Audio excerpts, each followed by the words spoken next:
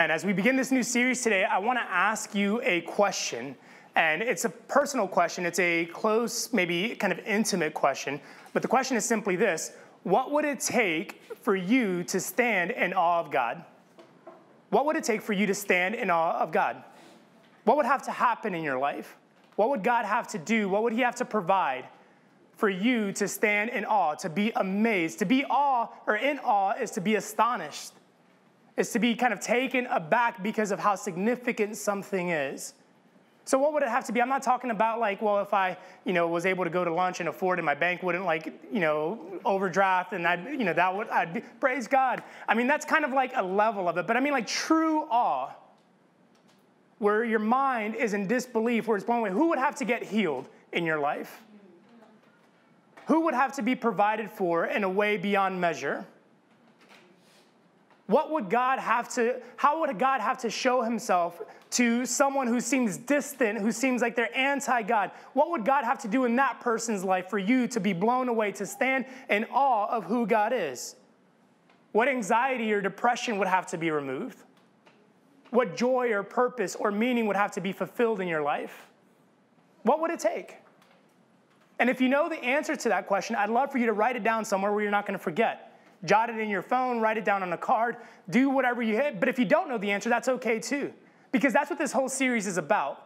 This whole series is about us standing in awe of who God is and what He's capable of doing. And as we begin this new series, my intent or my hope or my prayer has been that as we move forward in faith, God would bring something to us God would reveal something to us. God would show up in such a significant way that we can't help but be moved in awe and wonder, and that it would only spur us to dream and wonder what could happen again in the future.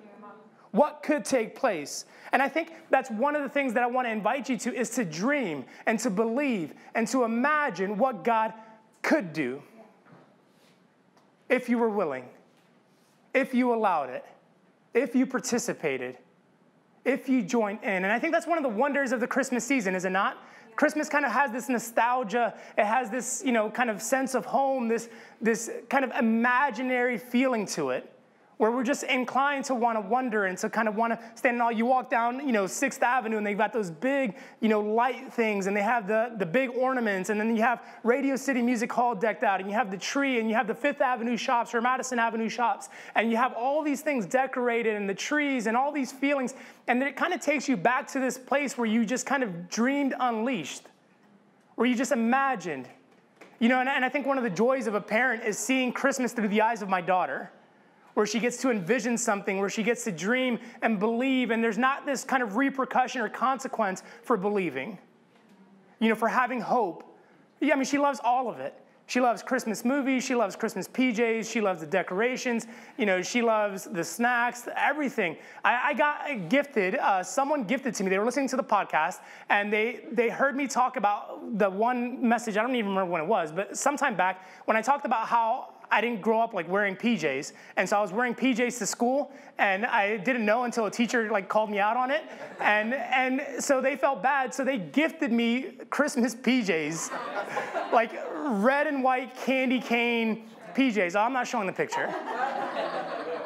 So for our Christmas decorating party, Gia like begged me, please, Poppy, wear the Christmas PJs. And I'm like, I'm not doing it. Can't do it. And so I went in the room and I put them on like a good dad, wore them for a while I was decorating the tree, got changed immediately after and threw them away.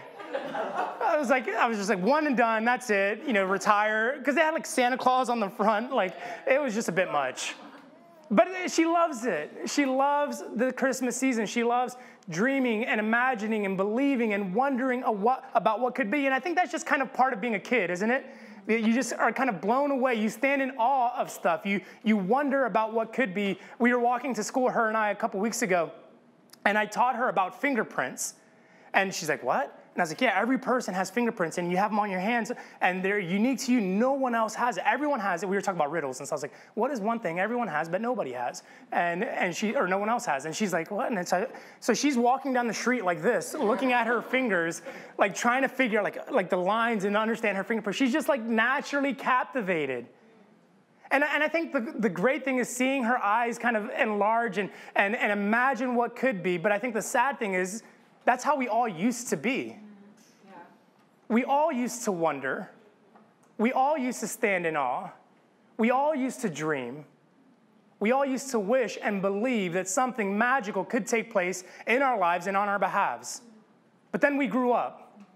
And whether it was an education system, whether it was a parent, whether it was a job, whether it was the practicality of just getting by day to day, or the struggle of just having to make it and hoping that you can just kind of get to the next phase of life or to the next moment, that, that you just kind of lose this sense of wonder. And in a sense, we become too mature for our own good. And, and we eliminate this ability to dream and to hope and to expect. Because we stop wondering, so we stop standing in awe. And then when we stop standing in awe, we stop expecting that God's going to do anything. And because we stopped expecting that God's going to do anything, we stopped experiencing God do anything. You see, it's not that we, God stopped providing the miracles. It's not that God stopped his part or he fell short on his end of the bargain. It's that we stopped experiencing something because we stopped expecting it. And we stopped expecting it because we didn't stand in awe anymore of what God could do in our lives. Yeah. And so we've missed the mark or we've fallen short of that expectation, or we've fallen short of that, or short of that dream. And, and, it, and it kind of causes us to stand in this place where the things that should wow us, the things that should uh, make us stand in awe, the things we should marvel at, no longer do it for us. And not only do they no longer do it for us, we no longer do it for ourselves. Which brings me back to this Christmas story. It brings me back to this original moment, this pivotal moment in human history, this climactic moment where the Messiah, the Savior of the world, was being born in the human flesh, in skin, flesh, and bone, and coming to dwell among us. And it's this marvelous, it's this magical story. It's incredible, it's phenomenal, it's all of these things. But when we look at this story, it just kind of becomes trite, it becomes routine. In fact, Christmas becomes more about something other than the Messiah coming into the world. And I'm not talking about the commercialism of that, because uh, uh, listen, we, our kid still believes in Santa, so we're all for that. Um, I'm, I'm talking about the reality that this was a significant moment in human history. And that to the people in the story, to Mary, to the shepherds, to the magi, to the, to, the, to the characters that we read about, this was not just another day in the neighborhood. This was a significant moment in their lives, a day and time that would come in which they would stand in awe of something taking place in their lives and they got to participate in it. Because these weren't just characters on a black and white page or red page, this was real life human beings. This was their story as much as it was Jesus' story. This was what they were dreaming for what they were believing for. People who grew up in a culture where a Messiah was promised and they didn't know when it was coming because if you know anything about the Bible or if you don't, here's good news for you. I'll teach you. There was a gap of 400 years from the last time they heard a prophet speak to them from God to the time that Jesus arrived. So for 400 years, these people heard nothing. For the previous 1200, they heard everything about a Messiah. They heard everything about a Savior. They heard everything about this coming moment that would arrive, that was promised, that was guaranteed. And yet, for 400 years, all of a sudden, God was AWOL.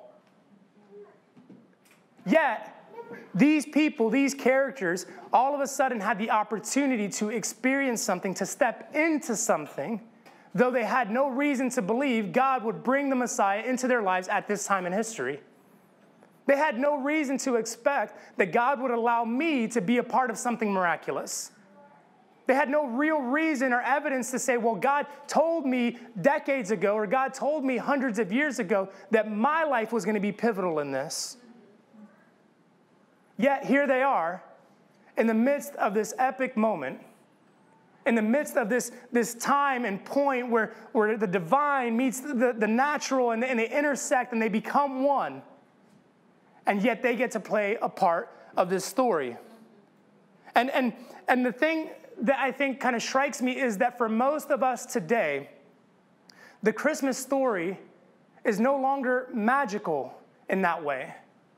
It's no longer wondrous in that way. It's no longer marvelous. Yes, it's important, But be honest with yourself. When was the last time you stood in awe of the fact that Jesus came to this earth? When was the last time that you marveled that someone got to hold Jesus as a baby? That the Messiah allowed himself to be cared for by us. I think about the struggle it is to just be a dad with a normal kid, let alone God.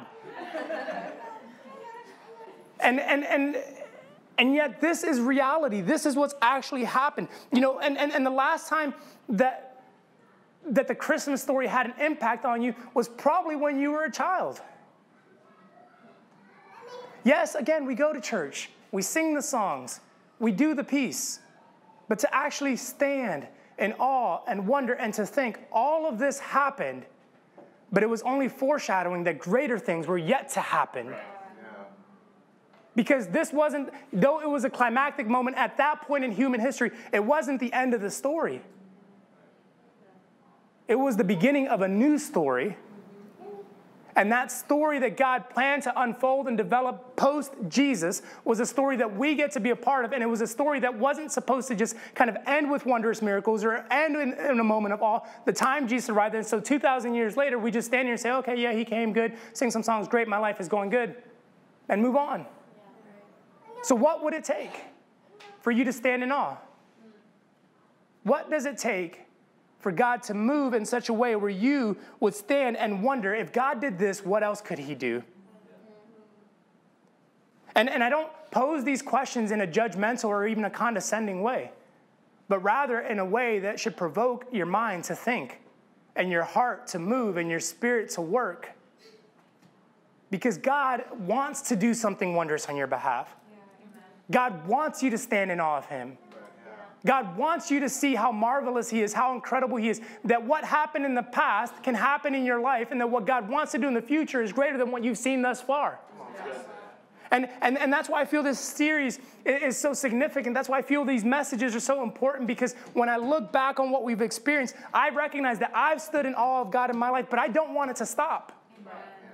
And when I think about our church, it's, it's, it's equally true. I mean, I look back just over the course of this year, January, I think it was 7th, we were meeting here for the first time and we had like meta gold balloons and we had like donuts and we were celebrating. Like we got into a space, we, we prayed for this Christmas offering and, and God provided. And one of the things we were going to use the funds for was to secure a venue. And we got into a venue and we came here and it was like, wow, this is really cool. This is epic. And we were kind of doing things in a different way. And then people started coming and it's like, how are these people coming? We're like, we don't really know. We just know they show up. And so we say, okay, come and hang out with us and be a part of this. And they come and they stay. And then I think about the fact that, you know, even right now we have kids meeting in a space where they're learning about Jesus and they love it and they're excited about it. I used to get dragged to church as a kid. My mom would pinch me whenever I was acting out of hand. She would yell at me or like smack me. Ego, just like a quick whack. I was like, she's trying to be spiritual and like not get caught by someone. Like, you just jam me with an elbow. It was nuts. but my daughter loves it. We didn't have that a year ago. My daughter got saved here. She met Jesus because of this. She loves Jesus because of this. You know, we, we, we think about the community and the people like, I was joking with our friends last night. I was like, you know, what's really crazy is that people come in and they're like, uh, for, as soon as I walked in, it just feels like home. And I was like, well, that's weird. We don't even have a welcome home sign. I mean, how is that possible that you feel like it's home, but it doesn't say welcome home? Imagine that. You could create a home without telling people it's home. But they would walk into it and feel it. And if this is what God has done in 2018, what more could He do? Where else could we go? What else could happen in our lives? What else does God want to do on our behalves?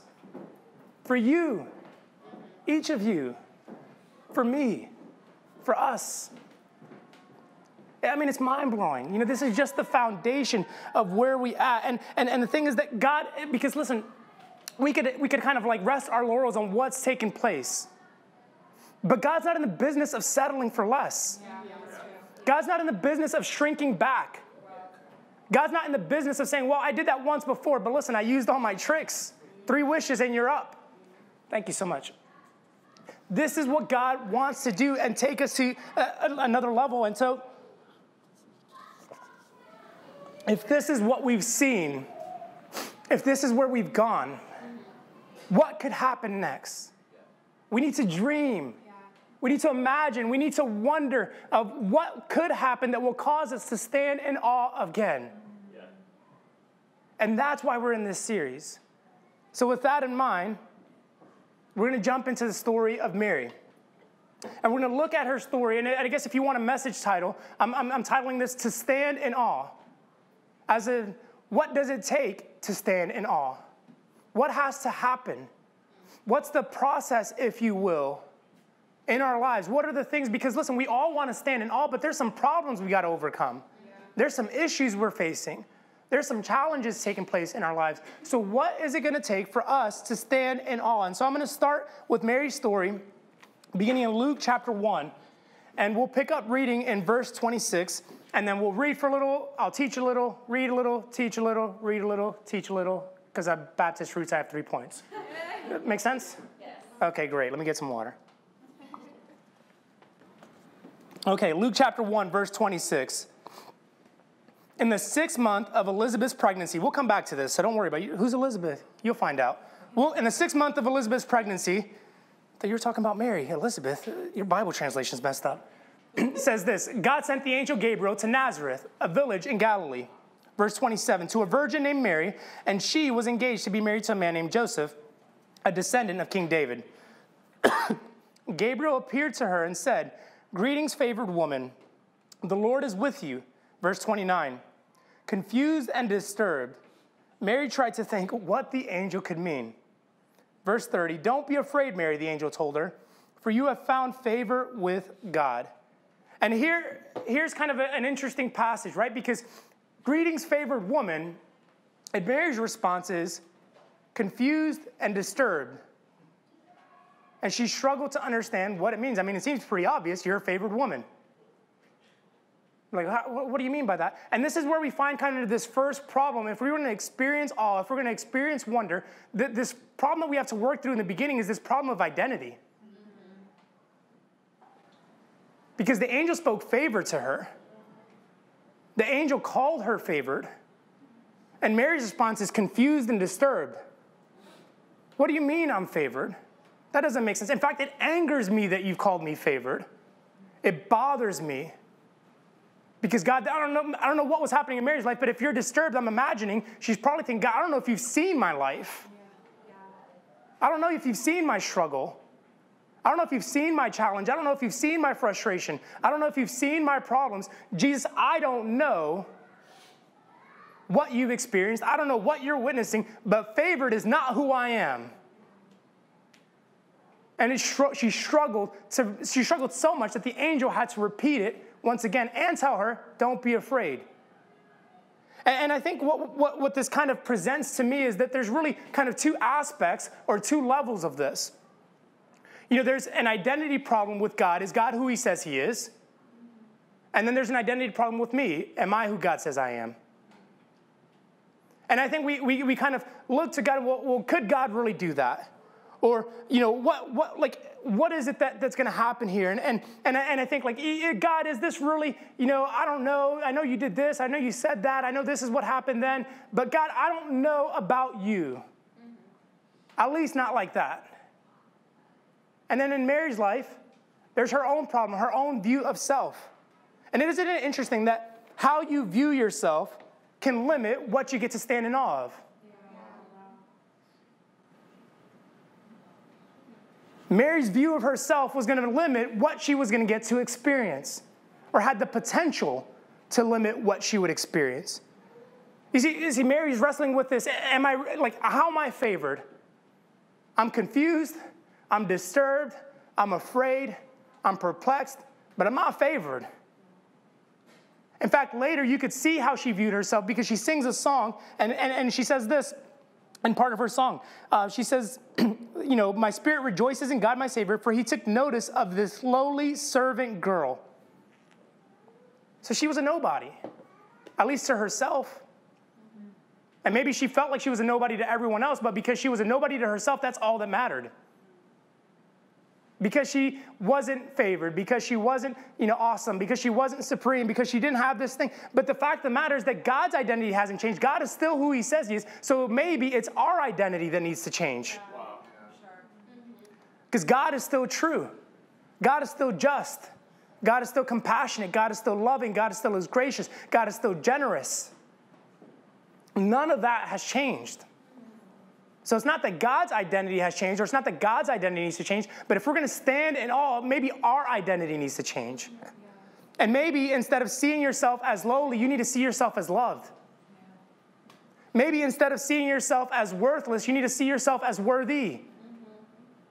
Maybe uh, you need to stop kind of feeling or seeing yourself as forgotten and believe that you're actually favored, as Mary did. And if you're going to work through this identity problem, you need to kind of flip the switch as to who you see God as and who you see yourself as. And so, with each of these problems, I want to provide a question. I'm not going to give you the answers, I'm just going to give you a question. Because I believe if you come to the answers on your own through the power of the Holy Spirit, you'll find better answers than I could provide you. So, here's the question I'll leave you with What has God spoken to you, about you, and for you? What has God spoken to you, about you, and for you? What has He told you about Himself? How has He revealed Himself to you? What has He told you about you? That you're chosen, you're loved, you're called, you're forgiven, you're saved, you're mine, you're protected, you're provided for, you're believed in, you're supported, you're strengthened, you're encouraged. What is it that He's spoken to you about you? And then take it a step further, what is it He's spoken about you, to you, for you? What favor is He bestowing upon your life that you're so quick to reject? That you're so quick to suppress because you've misplaced your identity or you've embraced an improper identity? What is it that God has spoken to you, about you, and for you? Moving on back in the story. Verse 31, here we go. Says this The angel speaking says, You will conceive and give birth to a son, and you will name him Jesus. He will be very great, and he will be called the Son of the Most High. the Lord God will give him his, the throne of his ancestor David, and he will reign over Israel forever. His kingdom will never end. Uh, verse 34, Mary says this Mary asked the angel, But how can this happen? I am a virgin. Isn't it funny how we always ask how? Like the angel hasn't even stopped talking, she just interjected. But how? How? You know, how could this happen? I'm, I'm a virgin. How could I have a baby? How could this happen? I mean, that's typical women, but that's men also. like they need all the details, you know, fill in the gaps. Oh, hold up, Angel Gabriel. We got some, I don't know if you know how this thing works. I know you're a heavenly body, I'm an earthly body, but let me tell you how this thing works real quick. So she had to do some, explana- like some explanations. But we always are quick to jump into, like, how is this going to work? But listen, ask yourself this how has anything miraculous happened in your life? How has anything that God has done taken place in your, in your life? By God, through God, and, and alone because of God. So it's not about how, but she says, How? Verse 35 The angel replied, The Holy Spirit will come upon you, and the power of the Most High will overshadow you. So the baby to be born will be holy, and he will be called the Son of God. Verse 36 What's more, your relative Elizabeth, come back to her, has become pregnant in her old age. People used to say she was barren, but now she has conceived a son and is now in her sixth month. And, and, and this kind of brings you to the second problem, which is the evidence problem. The evidence problem. How, God? How is this going to happen? How could this be? How would we go about this? What would, what would it take? What needs to happen? What things have to be arranged? What, what pieces got to get figured out? And we, and we start trying to compile evidence and we struggle and we grasp at straws because we don't see all the details. We don't know how it's going to work. But, but here's the thing this is why this piece about Elizabeth is so important. because Elizabeth was Mary's cousin. And so you just read that like, okay, well, why does Elizabeth keep coming back in the story? But listen to this. Look at, oh, well, I'll read it to you. Verse 7 says this about Elizabeth. They had no children because Elizabeth was unable to conceive, and they were both very old. Verse 24 says this Soon afterward, speaking about Elizabeth's husband, it says his wife Elizabeth became pregnant and went into seclusion for five months. Okay, so why does this matter? Because remember in the beginning it says Elizabeth was in her sixth month of pregnancy. Okay, she had been hidden for five months. She didn't tell anybody that she was pregnant. This was nobody's business, nobody's news. Mary, her close cousin, knew about it. So when the angel said, by the way, your cousin is pregnant, and people said that she wouldn't get pregnant, so trust me when I say you're gonna get pregnant. Yeah. Look at the evidence, Mary. Take note of the impossible that I've already done, Mary. Right. See what everyone declined, Mary. Look at what everyone said wouldn't happen, and look at what I made happen, and no one knows about it yet because she's in hiding, but you know. Come on. Come on, that's good. You've seen what I'm capable of doing, Mary. Yeah. And, and so, this problem with the other thing, I mean, it's crazy how in our disbelief for the next miracle, we will work to discredit all the previous miracles. Think about that in our disbelief for the next miracle because we can't believe that it's going to happen, we'll work extremely hard to discredit every miracle that God's already done. There's this evidence problem, guys. If we're going to stand in awe, if we're going to stand and wonder once again, then we need to kind of look at the evidence around us and believe that if God did it then, if God did it there, that He'll do it for us and He'll do it again. Yeah. This is the evidence that we have. Mm. Good, and so, again, I'll pitch another question to you. What evidence do I have to believe God? What evidence is present in your life? Where have you seen God work? Who's been saved? Who's been healed? Who's been restored? What marriage has been salvaged? What hope has been brought back? What family member has been resuscitated? What life giving thing has taken place in your life? What job did you get that you shouldn't have gotten? What provision came through? What check arrived in the mail the day, the moment you needed it? What conversation, what friendship, what relationship that you have today that you look back and say, it was a miraculous intervention on God's part. And because that happened, I have all the evidence I need to believe it'll happen again Your cousin Elizabeth is pregnant, Mary. Look at the evidence, Mary. See what I've done, Mary. And if I did it for her, then surely I'll do it for you. And if I did it back then, then surely I'll do it again. Because that's who God is. That's what God desires. This is what God intends in our lives. Verse 37 says this For nothing is impossible with God. I'll read it again for the people in the back. For nothing is impossible with God. Yeah. Verse 38, notice Mary's response I am the Lord's servant. May everything you have said about me come true. And then the angel left her. This brings us to the third and final problem that I'll share, and it's the trust problem. The trust problem. The angel speaks, nothing is impossible with God. Other translations will write it, nothing will be impossible with God. I think I like that, that treatment of the verse a little bit better because it speaks to a forward time, it speaks to a future moment that nothing will be impossible. Not nothing has been impossible, but nothing will be impossible. Mary's response I am the servant. May everything you have said about me come true. The trust problem. Where will we stand? Where will we place our trust? To what, we, to what will we align in that moment of faith? When we've gathered the evidence, when we've identified who we are, what ultimately will we decide to believe? Who will we decide to believe? What, what are the things that we're going to take from God and say, okay, God, if you did it then, then I'm going to trust you again? And if I trusted you with my salvation, Jesus, then I'm going to trust you with my life moving forward. And if I trusted you in my heart, and if I believe you're big enough to keep me out of an eternity in hell, then I believe you're big enough to provide for my finances, God. If you're big enough to provide for my family, then you're big enough to provide for my work. If you're big enough to provide for my friends, then you're big enough to provide for me. Yeah. Yeah. yeah. The trust problem. Mm-hmm. When I when I take that, that money And I just take it out of my wallet. And I say, God, I'll give you this. Every time I do it, it's a symbol of trust. Hey, the, the fact of the matter is, I don't really, I don't really give from the standpoint of like a financial thing anymore. Like it's no longer about, well, did I give the right amount of money? Did I give like the percentage that I was supposed to give? The answer to those things is long ago became yes. The answer now is like when I give, do I do I really trust God? Yeah. Do I really trust God?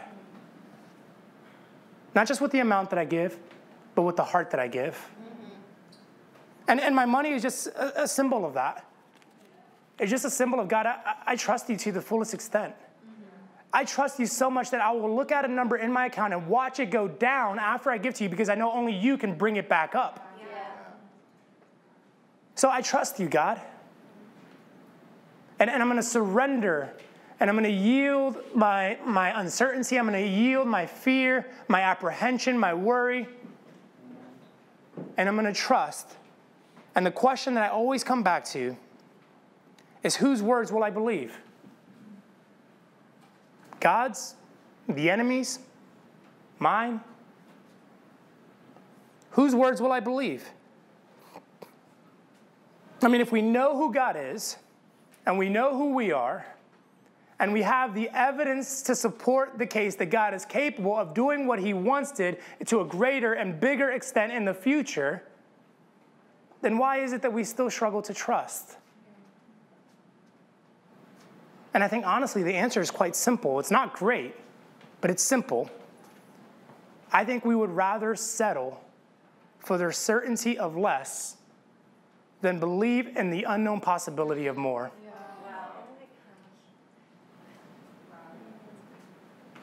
Why don't we trust? We would rather settle in the uncertainty of less, or the certainty, excuse me, of less. At least I know this is what I'm going to get than believe for, dream for, imagine for, go for the unknown possibility of more. But here's the thing the final statement I'll leave you with. What you choose to believe will dictate what you get to see. What you choose to believe will dictate what you get to see. And this isn't some sort of like positive words, vibes type stuff. This is foundational spiritual Christianity 101. You believe in Jesus to save you, so you expect that you'll see heaven. That was the entry. But what you believe, what you choose to believe, where you choose to trust, what evidence you seek to gather, you know, what identity you choose to wear, those things are going to dictate what you get to see. And my prayer and my hope has been that we would choose awe, that we would choose wonder, that we would proclaim in Jesus' name that we will stand in awe once again as a church. That what God did last year, not just financially, but what God did last year or this year, is nothing in comparison to what He wants to do next year for our church and for your life. Listen, I'm not just speaking self centered here or selfishly. It's not just about meta, meta is about you. Right. Meta is about your transformation. Yeah.